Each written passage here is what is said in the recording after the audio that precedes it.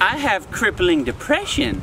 Only one Only person one can get you out of get you out of depression, depression, and and that that is is your, your is head. your head. Oh, no, I'm oh, holding you accountable for your own feelings. Happiness Happiness can be a can be a choice. choice. Science proves proves. Nobody, nobody It's happy all the time. But it really is up to us if we're happy if we're happy most of the time. Why is it Why is it popular to act like you're not like having you're not fun? Being fun? depressed Being isn't the same as isn't same as that. It's a real It's a thing. real Depression is a Depression is a chemical chemical imbalance in your imbalance in your head. You can't You just can't fix just it. fix it. We can change our can change brain. our brain. Sometimes when you have more of one chemical than another, then you can have depression symptoms. It's all in your head. It's all in our head. Thank you so much for watching. If you like this video, please go ahead, share it with a friend.